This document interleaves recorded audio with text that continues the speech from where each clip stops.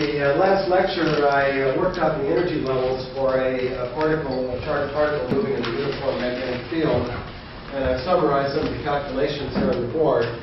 Uh, the main result was the energy levels, uh, which depend on two quantum numbers, m, which is a Landau quantum number, and then p3, which is the momentum uh, parallel to the uh, magnetic field. You know, the particle moves as a free particle in that direction. Uh, and uh, the uh, Landau level corresponds to a harmonic oscillator with energy input to half h bar omega. Uh, interestingly enough, uh, the, uh, the Q and the P of the harmonic oscillator are basically the x and y components of the velocity, which don't commute with each other. So the harmonic oscillator itself is really just Vx squared plus Vy squared times m over 2 is kinetic energy. This is the quantized values of the perpendicular kinetic energy of the of the particle. In fact, the whole energy is kinetic energy. Um, anyway, that was the main result of uh, last lecture. And uh, in this lecture, what I'd like to do is to start by working on the, uh, not just the energy levels, but also the uh, energy eigenfunctions. So, uh, let me start with a board here. And get to work on that. Uh, so, um, the uh, strategy is going to be uh, to uh, choose a complete set of commuting observables, a CSCO. Uh, and uh, for starters, we can take the, for starters, we may notice that the perpendicular Hamiltonian and the parallel Hamiltonian commute with each other. I'll have to keep lifting this up to show you the summary from last time. But the reason they do is that you know, there's three degrees of freedom. One, which is uh, basically the guiding center position, x and y, the q and the p. The two degree of freedom is the x and y components of velocity. And the three degree of freedom is the z and pz in the parallel direction. So uh, the reason that uh, the reason that h perp and h parallel commute with each other is that h perp only involves number two degree of freedom, whereas h parallel involves number three. So they commute with each other because the commutation relations are qi pj is uh, i h bar delta ij. So the commutators are zero for different degrees of freedom. So um, the Hamiltonian is the sum of two terms that commute with each other, and so we can take these two terms, h, perp and h parallel, as being two of our members of a complete set of commuting observables. Let's write this set like this. Now, actually, as it turns out, instead of h perp, excuse me, instead of h parallel, it's actually better to use p3 the parallel component of momentum. This is really just a one-dimensional free particle. And the uh, idea here is, is that you, momentum is preferable because the energy is degenerate. You know, in a free particle in one dimension, you've got two waves traveling in opposite directions have the same energy. That's resolved if you use the momentum as the quantum number.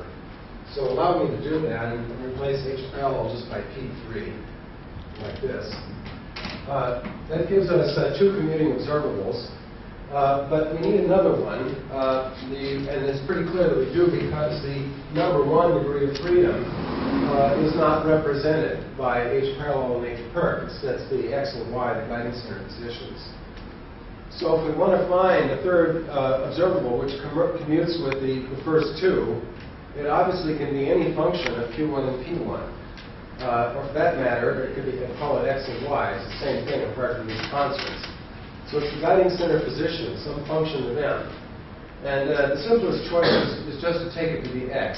We can make it y. Let's, let's make it x just to give it a choice. So let's take a complete set of commuting observables, and we'll take it to be x, h perp, and p3. And our strategy then will be to find a, um, a, a set of simultaneous eigenfunctions of those observables. All right. So what we're going to look for then is a uh, is to solve a set of equations like this. We're going to wave functions these side x, y, and z. And we want, first of all, that x acting on this, the operator, brings out an eigenvalue we'll call x. And uh, you can see I better distinguish the operator from the eigenvalue. So let me use my usual trick of putting hats on any operator where I think there's going to be a confusion between the operator and a in an eigenvalue or some other C number. Uh, so anyway, this is the eigenvalue, uh, eigenfunction equation for the operator x hat. Likewise, we'll have h perp acting on the same psi. We'll bring out an e perp, perpendicular energy. And we'll have a p3 hat acting on psi. We'll bring out a p3 eigenvalue acting on psi. multiplying psi. So these are three simultaneous eigenvalue equations that have to be satisfied.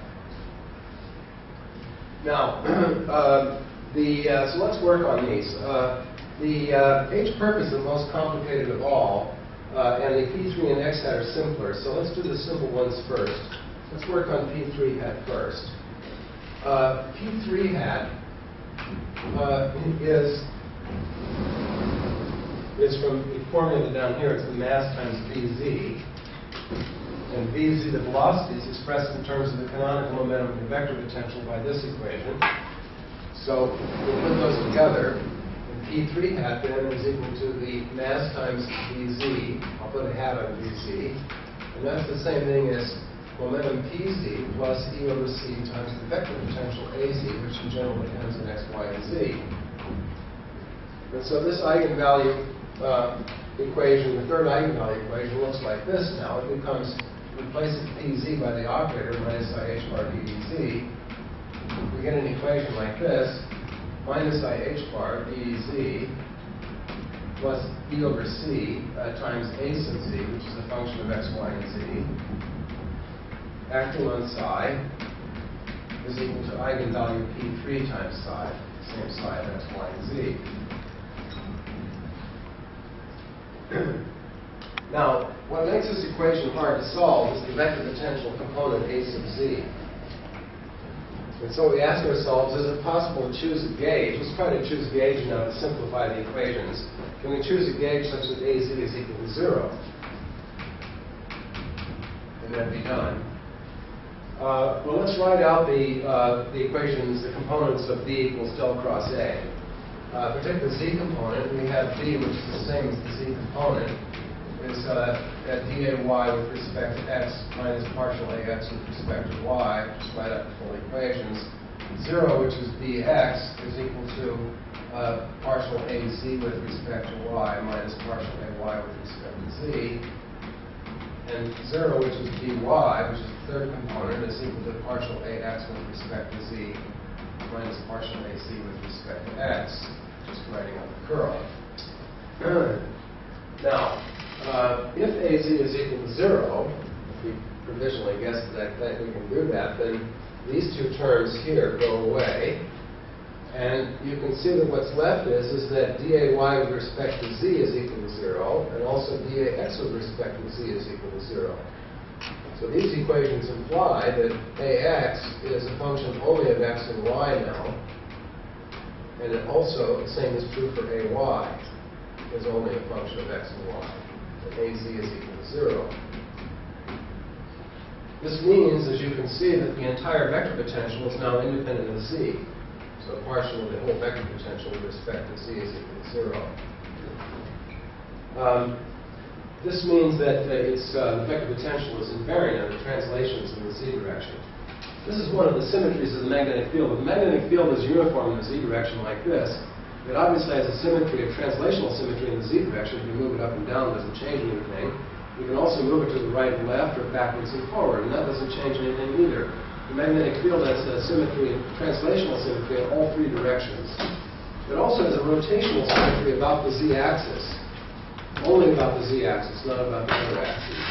But anyway, this magnetic field, this uniform magnetic field, has four obvious symmetries.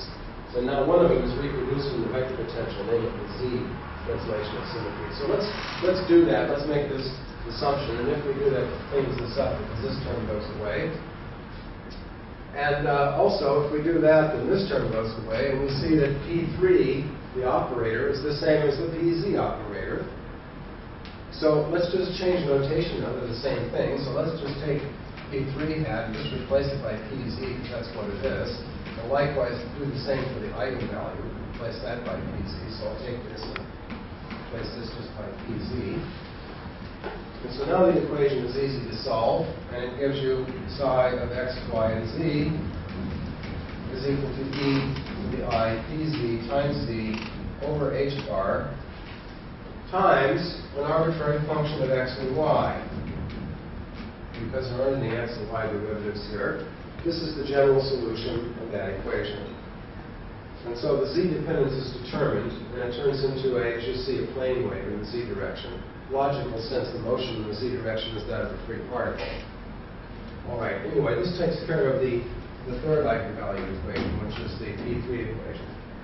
Now, the next most easiest, the next easiest one to work with is, is the x equation, so let's do that. I'll try to start it here, and then I'll shift to another board. So the x, I'll remind you, the x, guiding center x is defined as the coordinate x minus vy over omega, and vy is given in terms of canonical momentum vector potential by the standard formula. So in terms of operators this says that the guiding center operator x hat is equal to the particle position x hat minus uh, vy hat over omega. And that's the same thing as particle position x hat minus 1 over m omega times py hat uh, plus e over c ay, which we now know is a function only of x and y. And that's an expression for the x operator. I'm putting hats at everything where I uh, want to distinguish an operator from a number. And so the equation x hat psi is equal to x psi, the eigenvalue equation, turns into the differential equation, which I can write out like this. It becomes x minus 1 over m omega, and then we've got minus i h bar d dy, that's with the py here, plus e over c, a of x and y. And that whole thing multiplies our psi of x, y, z, and gives us eigenvalue x times psi of x, y, z. Now, however, the psi, we've already determined, is a phase factor in the z direction times an unknown function in the x and y, of x and y variables. We're going to determine this phi function by using these other two eigenvalue conditions. And in particular, plugging the plugging in plugging in this uh, expression for, for the psi at this point into the, into the inside the two sides of this equation, you can see there aren't any z derivatives or anything else that depends on z on either side of this equation. Thus, the phase factor to the IPZ over h bar, PZZ over h bar just cancels. And so, let me lift this up to another board here. Oh, uh, yeah, so just, they, those just cancel, and it ends up being, being just an equation in y. Before I lift it up, I want to do one more thing. Now, um, having done that, uh, there still, still is not exactly an easy-looking equation. The main reason is, again, because of this vector potential here. Uh, but in addition, there's also this x over here. So before proceeding, let's ask whether we can take this vector potential and use it to cancel out that x. It's there on the other side. How do we make that happen? That A supposed to be AX? That's supposed to be ax, yes, thank you. ax indeed. Uh, no, excuse me, it's ay. Because this is the, this is the dy, which came from the dy, yes. Uh, all right, so uh, can we do that? Um, well, if we do, if those two terms cancel, then the x here, there's a minus sign 1 over omega and a plus sign here. So what we have to get is a condition that says that x is equal to uh, e over m omega c times ay. Or, obviously, ay is equal to mc over e times omega, which is eB over mc, times x. And mc's cancel, and the e's cancel, and so this leads to ay is equal to x times b, if we do that. Now, if ay is equal to x times b, then this term in the curl equation is just equal to b.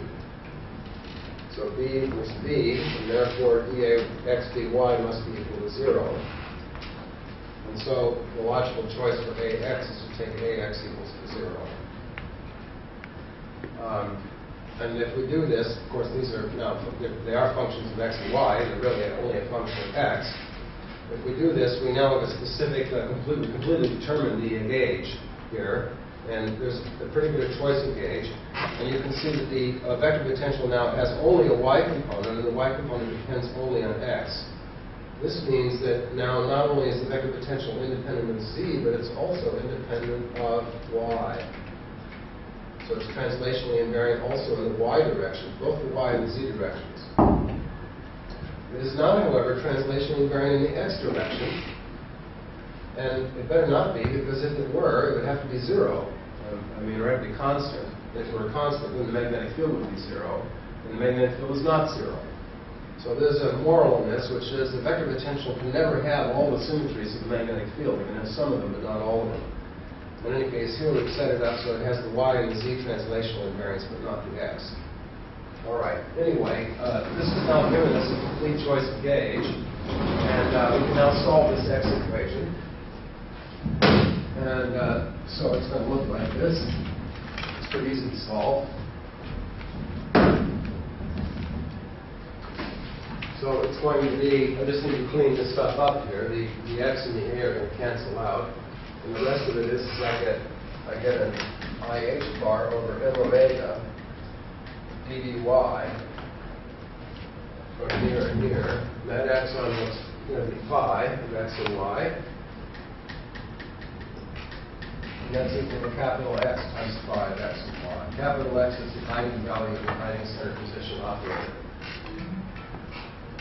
And this is easy to solve. It says that phi of x and y is equal to e to the minus i m omega times capital X times y divided by h bar times an arbitrary function of x. So, as you see, uh, by taking care of the x hat equation, we've now gotten the, the unknown uh, eigenfunction down to just one, one variable x. And so this, uh, this leaves us finally with just h perp. So let's now write down the h perp equation. So h perp is, a, is an operator, is, is one half uh, m times dx squared plus dy squared. That's the pass on these if you like. This is the same thing as 1 over 2m px plus e over cax squared plus 1 over 2m py plus e over cay squared. Of course, we've just decided that ax is 0, so that goes out. And uh, px here is going to turn into minus i h bar dpx. As far as e over cay is concerned, the ay is up here. It's, it's x times b. So this is dv over c times x, which if I multiply and divide by the mass, turns into m omega times x. That's the particle position x.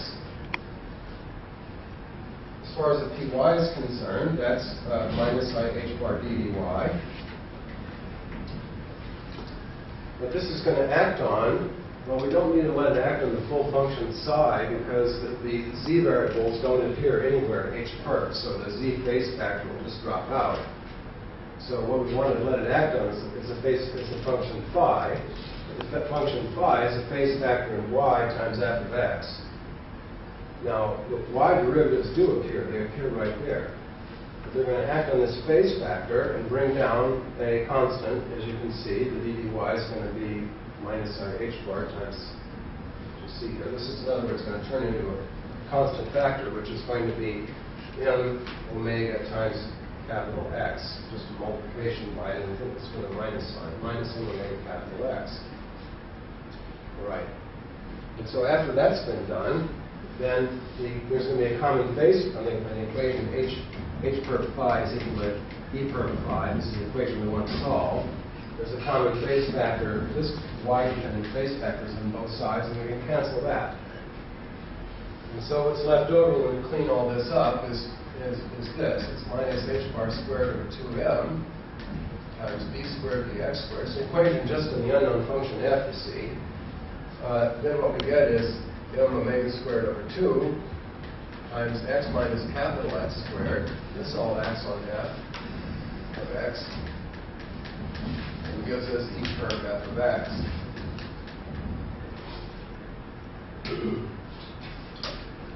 Now, this equation is the uh, eigenvalue equation for a one-dimensional harmonic oscillator. You can see there's a short one-dimensional Schrödinger equation. Here's the kinetic energy, here's the potential energy, frequency omega. The only thing that's a little bit funny about it is the origin has been shifted from x equals 0 over to x equals capital X, which is the eigenvalue of the guiding center operator. And so we can write down the energies in the solute and the eigenfunctions right away. The energies E, E going to be equal to n plus a half h bar omega. That's something we knew already. And the energy eigenfunctions f of x are going to be equal to what we call the what we call the uh, harmonic oscillator eigenfunctions, just use it in. This is the usual Hermite, polynomials times exponentials, but it's evaluated at the shifted position x minus x.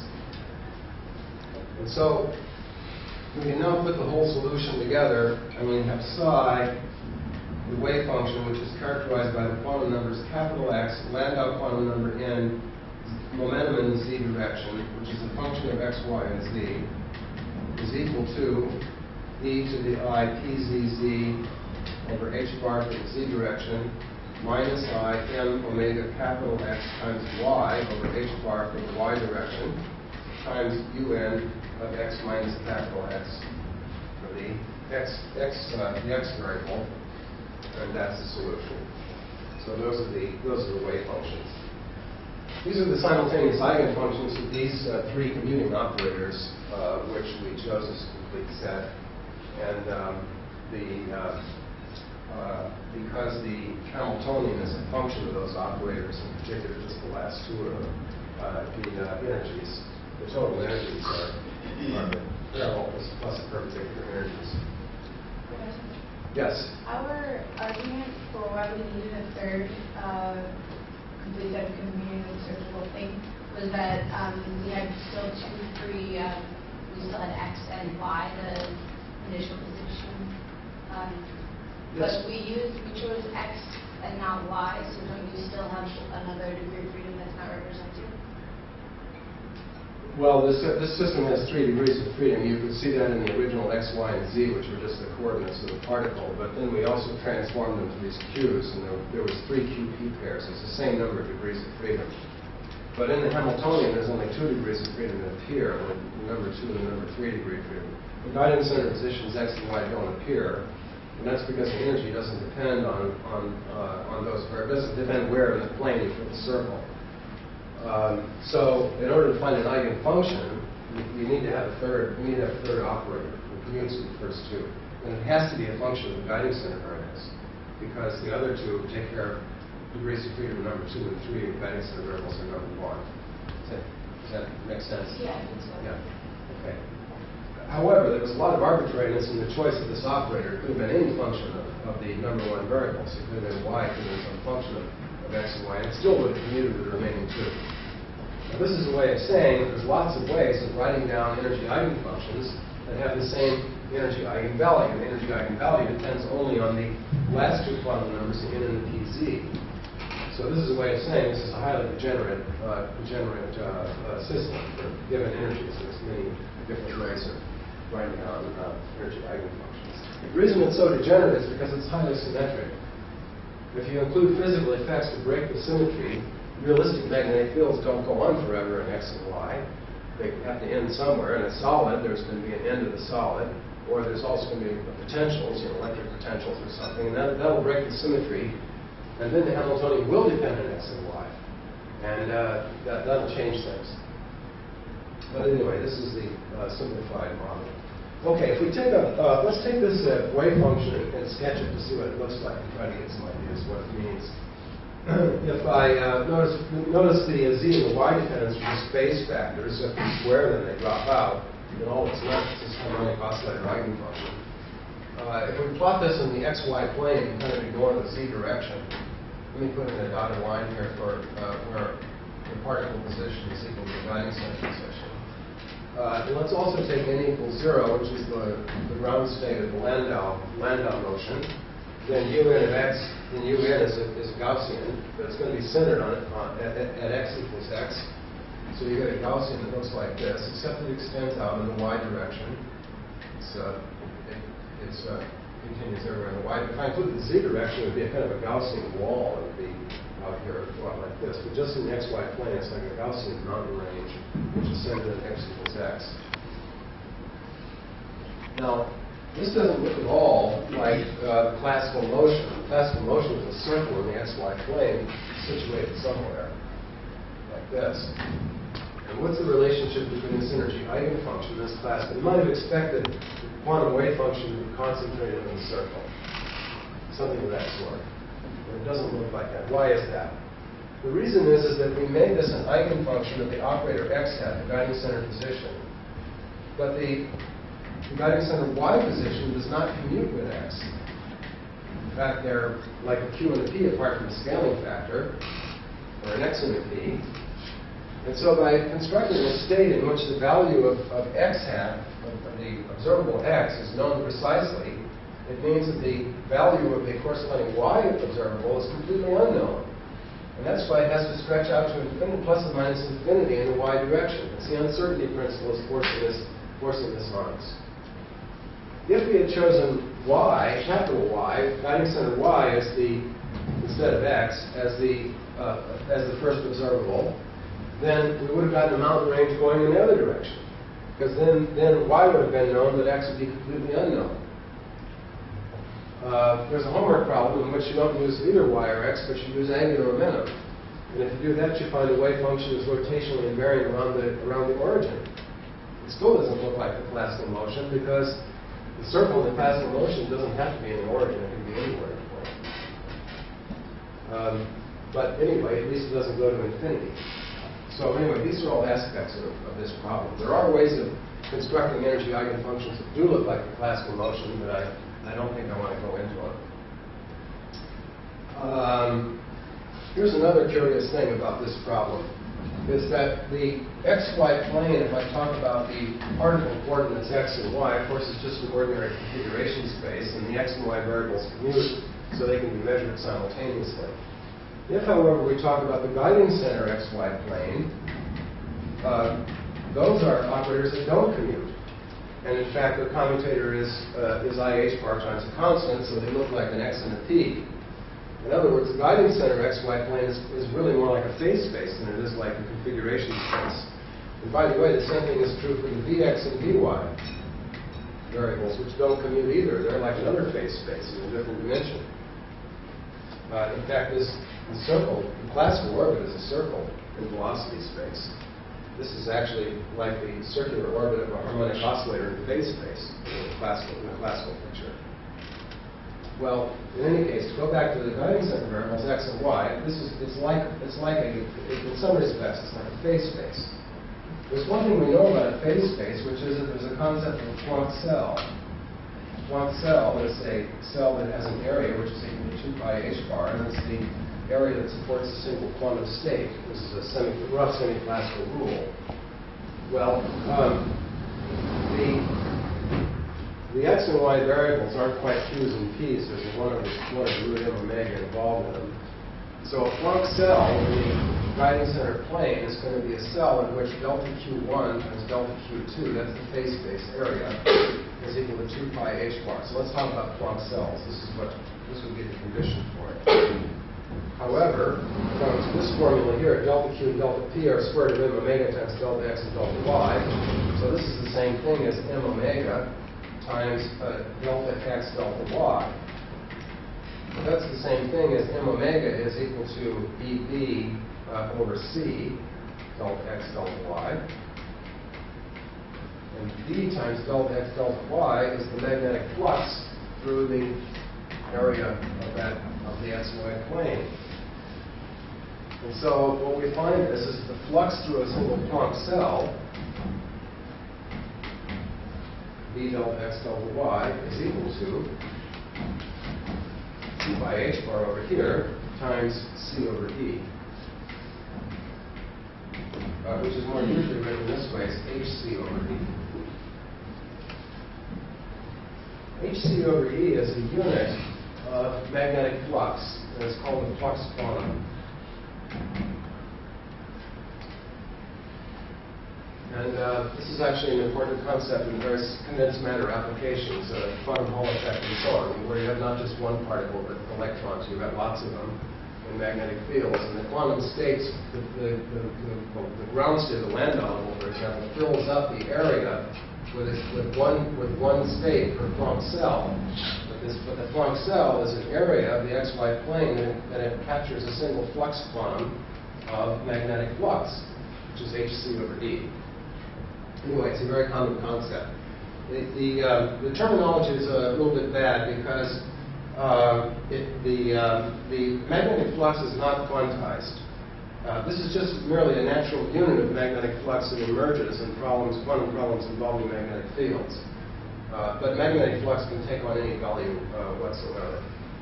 Anyway, that's the meaning of flux quantum, hc over e. Okay.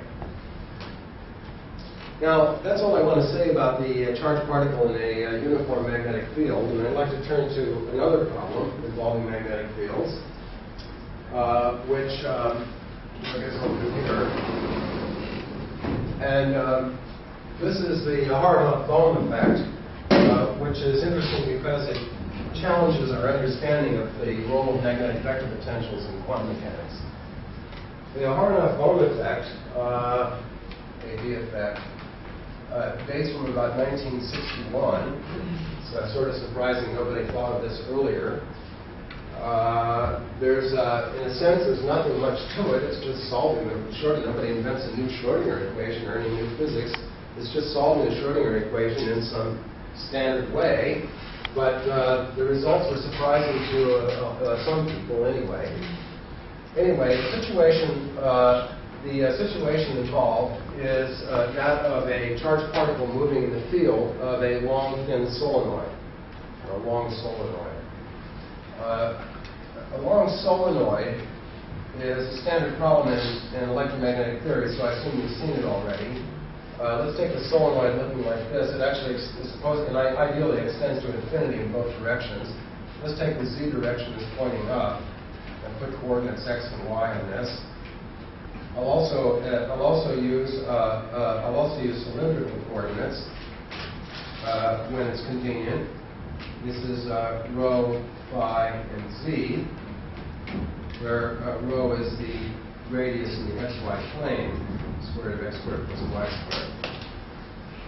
In any case, the solenoid is supposed to have a current sheet, singular current sheet, flowing uh, in the azimuthal direction around the solenoid.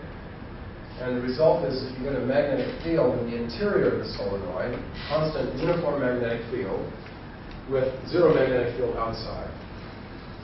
So the magnetic field is equal to, just say magnitude b times z hat, if the radius is less than the radius of the solenoid. Let's call that a as the radius of the solenoid. In fact, allow me to make another picture to look at this from above. We look at the solenoid from above, so we, in the xy plane, I'll draw the solenoid somewhat larger now. Let's say the radius is a, like this. So if you're inside, the magnetic field is constant. If you're outside, the magnetic field is zero.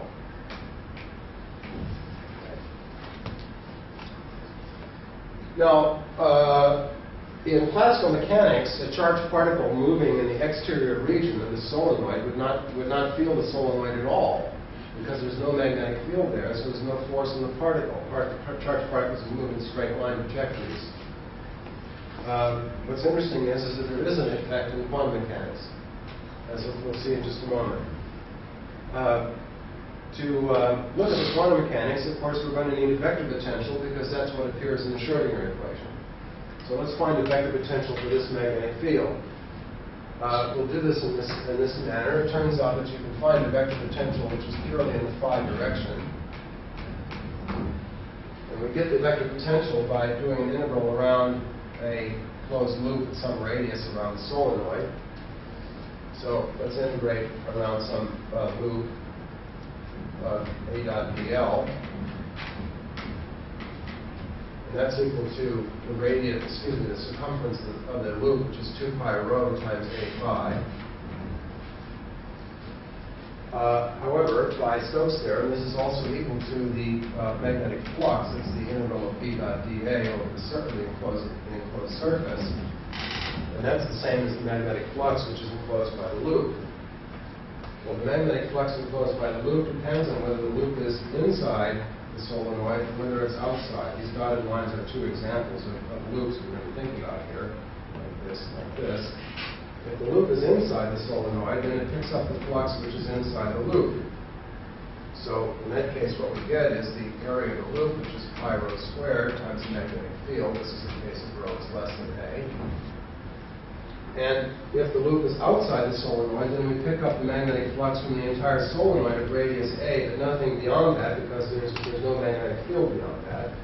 So in this case, it just turns into pi A squared times B for rho greater than A.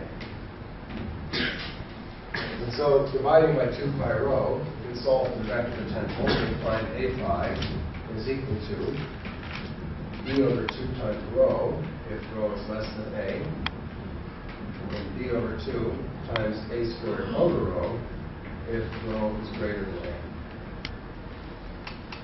And so we can make a plot.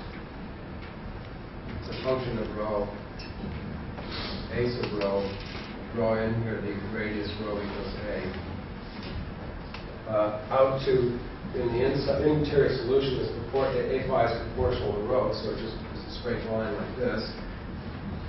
And then the exterior solution that falls off is 1 over rho, so it decays like this. If we plot similarly the magnetic field on the same on the same chart, same dot, dot diagram, it's constant interior and zero outside, just like that. So, although the magnetic field is zero outside the solenoid, the vector potential is non-zero. And the vector potential appears in the Schrodinger equation. And so the question is, is that going to affect the quantum mechanics of particles which are outside the solenoid? Uh, to make this a little more concrete, we can imagine that the solenoid is like a hard wall that the particles can't get through. So uh, we've got a kind of, we have a quantum mechanical problem, if I look at it from above, we've got a quantum mechanical problem in which the wave function uh, is equal to zero, it's the boundary conditions at the, on the edge of the solenoid. And uh, we're going to be interested then in solving the Schrodinger equation in the exterior region. We don't care what happens in the interior because the particles don't get in there. Okay, so let's think about doing that. Well, uh, from one point of view, you might be tempted to say, um, in this exterior region, we have a non-zero vector potential. It's true. This is what I just worked out here. But this is just one choice of gauge. Obviously, if you have a zero magnetic field, a possible choice of gauge is just A equals zero, because curl of zero is zero. So why don't we do a gauge transformation to get rid of this vector potential and end up with A equals zero? And then in the exterior region, we ought to have just the Schrodinger equation for a free particle, and the magnetic field wouldn't make any difference. Well, let's try to do that. So the vector potential we've got is this one here is phi component, I'll just talk about the exterior region, is b a squared over 2 times rho times phi hat. Then we multiply numerator, and denominator by phi, because then phi a squared b is the magnetic flux inside the solenoid, so it's phi over 2 pi times rho times phi hat. It's one, excuse me, it's one over rho, one over rho times phi hat.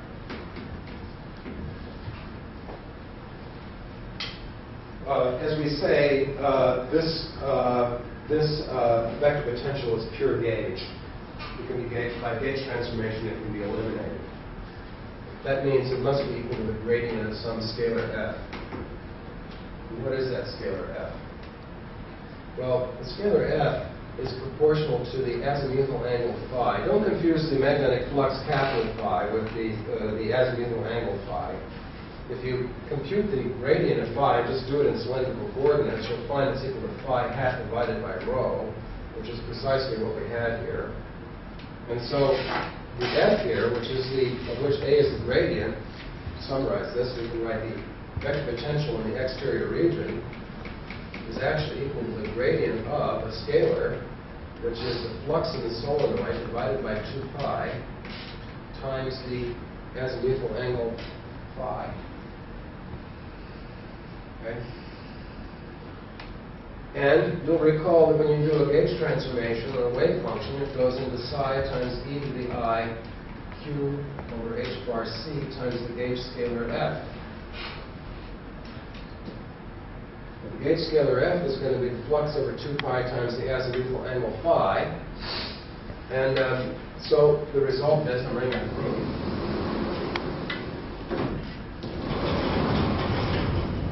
So the result is, in this attempt to gauge away the vector potential in the exterior region, uh, what we end up with is, uh, is a new wave function, uh, which uh, is related to the old wave function by a phase factor that goes like it the azimuthal angle. More specifically, it's this. The wave function, or the transformation is this. Becomes e to the e to the i q over h bar c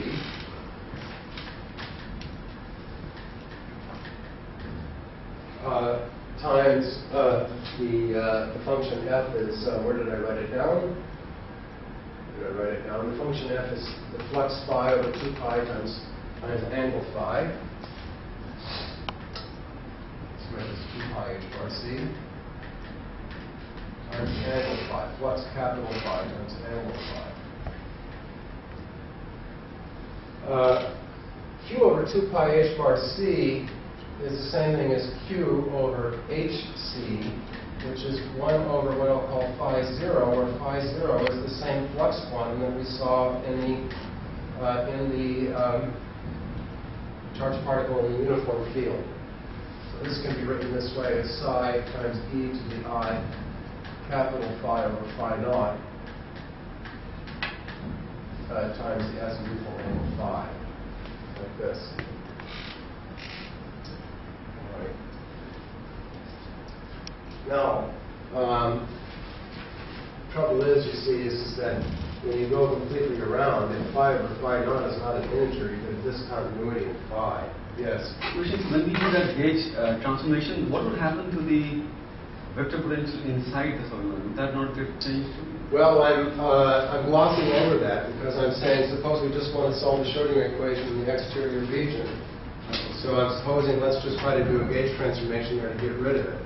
If you do that, what you'll find is, is that the new wave function is related to the old wave function times a factor, which is the flux in the solenoid divided by a flux quantum times the azimuthal angle. Now, if this ratio is not an integer, then the new wave function is, is discontinuous. That's, that's a problem. When it's discontinuous in the momentum is infinite, you've got problems with that. So let me not go into the problems of the discontinuities of the wave function, but, the, but this is a reflection of the fact that it's not going to work to gauge away the vector potential in the exterior region, even though the magnetic field is zero out there. Another way of saying it is, is that if I've got the, if I, if I were able to do a gauge transformation to get rid of the vector potential in the exterior region, then obviously the integral, uh, the, the loop integral of A dot dl would be equal to zero, because if A was equal to zero, this would certainly be equal to zero. But that can't be right, because this integral must be equal to the flux, which is contained in the solenoid. So the result is, is you cannot gauge away the, uh, you cannot gauge away the vector potential in the exterior region. It has to do with topology, really, the fact that the, that there's a hole in the space, that's really what makes a difference about being unable to do this. All right, let me not follow this any further, except just to say that the result of this is, is that there's a phase shift uh, in effect on going around the solenoid compared to the free particle solutions. And the phase shift is precisely this I replace this by 2 pi uh, going around the solenoid. The phase shift is this. It's the ratio of the flux to the flux quantum times 2 pi. And what you find is that solutions in the presence of that vector potential compared to solutions, free particle solutions, when there's no vector potential, differ by this phase shift when going around the solenoid. Now, let me show you how this might have an effect physically. It does have an effect physically.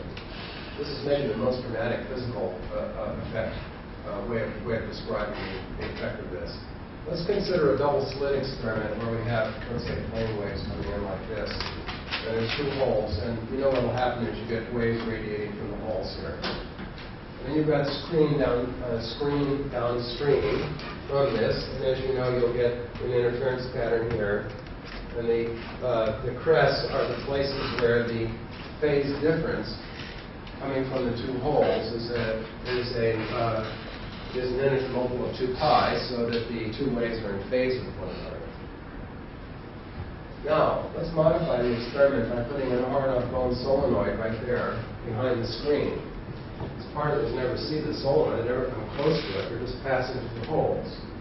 But because of the presence of the solenoid, the solutions in the presence of the, in the, in the presence of the solenoid have this extra phase factor, compare relative phase when going around the two sides of the solenoid compared to the free particle solutions. And what that means is, is the relative phase of these two waves shifts by precisely this amount. As we say, phi divided by the flux quantum phi naught times 2 pi. That's the, that's the phase shift. Extra phase shift that's induced between these two waves. And so what happens is, is that the interference pattern moves to the right or the left, depending on the flux in the solenoid. And if we make this time dependent by changing the current in this, we can move this interference pattern back and forth. Now, the point of this is, is that the interference pattern is physically observable. So this is a physical effect uh, which appears in quantum, purely a quantum effect. There's nothing classical, no, nothing analogous classically, um, uh, which is uh, occurs in a, in a situation in which charged particles never enter a region where there's a non-zero magnetic field. And so this is what Aharonov and Bohm pointed out in 1961, and some people said, oh, it's no big deal, it's just a solution to the Schrodinger equation. And other people said, oh, this is the greatest thing. So anyway, I think there's still kind of a, skitsy uh, uh, attitude about the Aharonov-Bohm effect. But it certainly is interesting, and this is, and this is, what, uh, this is what it predicts. Now, by the way, the Aharonov-Bohm effect has been, has been actually experimentally verified. Um, as usual, with Gedanken experiments, the real experiments are, are, have to be, for practical reasons, have to be somewhat different. But uh, the Aharonov-Bohm effect has been, has been verified experimentally. So there's no question that this sort of thing actually really does happen. All right. I'm sorry, Yes. I maybe I misunderstood. When you finished um, this gauge transformation thing, you said, so this is wrong, and then now you're saying that it's right? Uh, no, what I said was that, uh, what I said was that it's impossible. If, you see, if it were possible to gauge the weighted vector potential in the exterior region, then the Schrodinger equation in the exterior region would be that of a free particle, Yeah. with, with no with no effect at all. In which case, the interference pattern would be just what you'd always get for a, you know, what you always learned about double slit experiments. But the point is, if I put the solenoid in there and turn it on so I've got a magnetic flux, then there's an extra phase shift between these two waves. So that in computing where the peaks occur, you have to include an extra shift. Now, it's a relative shift between the two waves. It's a, it's a, it's a relative phase shift. Remember, the phase of the quantum wave, I mean, we may, we may like to think there's spherical waves coming out of here. And these spherical waves, of course, the wave fronts are the lines of constant phase. But who defines the phase? Um, it's easy enough if there's no vector potential around. You just say, you know, for A equals zero, it's just these are just spherical waves, you know, where where where e to the ikr coming out coming out of here, e to the ikr over r. Uh, but in the presence of a vector potential, you know, then you have to specify a gauge, and the phase of the wave function depends on the gauge, and it changes if you do it if you do a gauge transformation. So what the wave fronts are depends on your phase convention. As weird as it sounds, that's true. But the phase, phases themselves are not measurable. What's measurable are phase differences. And the phase difference between these two routes, even in the presence of the solenoid, depends only on the flux in the solenoid. And the flux in the solenoid depends on B, not on A. So it's a gauge invariant quantity. So what's physically measurable is, is, is gauge invariant. So although the vector potential uh, plays a more uh, fundamental role in, in, in, quantum physics than it does in, in classical physics, it still remains true that, it, that the gauge convention is still just a convention, and that the real physics doesn't depend on that convention. The real physics here is the phase shift, the relative phase shift between waves, and that depends only on, on the flux, the flux of the solenoid. Well, we're so out of time, I, I, uh, I, uh, didn't, uh, didn't really have time to go into what else I wanted to talk about, which is how this appears in path integral formulation. Uh, let me just say that in the path integral formulation, you know, you, you, have, you have a phase in the path integral, it's e to the i over h bar, it's the integral over time of the Lagrangian, let's say t0 to t1. And uh, this is integrated over path space in the x of t if we're doing path integral. This is the propagator K.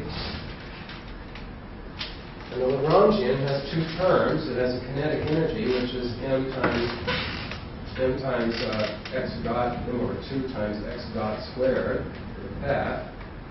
And then it has another term, which is q over c times x dot dotted into the vector potential.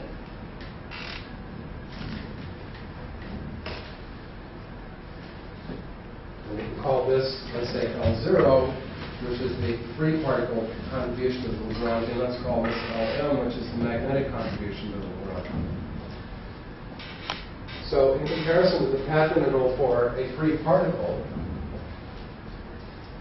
of course, with the solenoid in the center and a hard wall on the particles, in a sense, is only free in the exterior region. But we can accommodate that in the path integral just by taking paths that never, never enter the, the, the, the forbidden region. So let's understood that here, in the path space we integrate. So then all we've got here is just the free particle Lagrangian plus the magnetic particle Lagrangian. But the magnetic particle Lagrangian, it turns out, is uh, is independent of the path up to a up to a uh, is largely independent of the path. Me show you what I mean by that. Let's say that here's our Aharonov-Bohm solenoid. Let's say here's the position x0, here's the position x1, and we've got a path that connects the two of them.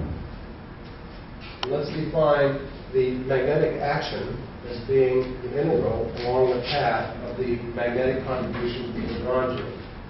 Let's call this AM, stands for magnetic, it's a function of the path, x of t. This is the, this is q over c times integral t0 to t1 of a dotted into the velocity x dot dt. Well, this turns into a line integral. It's q over c, the integral from x0 to x1, or simply a dot dx. And so you see the time parameterization drops out. And the magnetic, the magnetic contribution of the action does not depend on how fast the particle traverses this path. Actually, it depends on even less than that, because if I have two paths, let's call them P1 and P2, such that they can be continuously deformed into one another, then the magnetic action along these two paths is the same. Because if I go along one path and back along the other, that gives me a loop integral, which is equal to the magnetic flux through the enclosed region. But this is entirely in the exterior region where the magnetic field is zero. So if you stay in the exterior region and you continuously deform one path into another, you don't change the magnetic action. and so magnetic action for paths of that sort can be taken actually taken out of taken out of the path integral.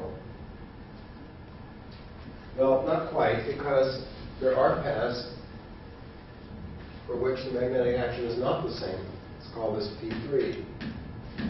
These are paths that, relative to the initial path, go around the solenoid. In fact, if we deform this path continuously, we can turn it into this, partially follow P1, and make an excursion over here, go around, come back, and then follow P1 again. So we go backwards and forwards like this.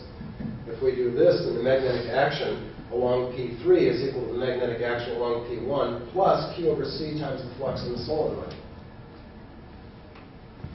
And so the result is in the path integral, you can break paths up into what are called homotopy classes. These are the classes that, um, that indicate how many times it goes around the solenoid.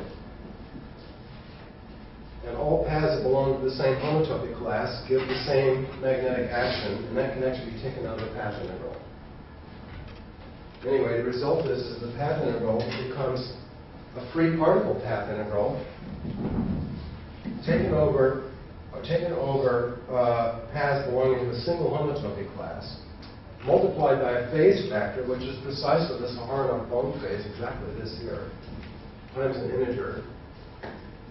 So it becomes e to the i n phi over phi naught. This is the phase factor that distinguishes one homotopy class from the other. Anyway, by doing this, it becomes obvious that the propagators, in the presence of the solenoid, is not the same as it was in the absence of the solenoid. Okay, I think that's all. Uh, So uh, just to remind you, there'll be no other class this week, uh, because I'll be out of town. There's a few more homeworks here. Number, I don't know which one this is.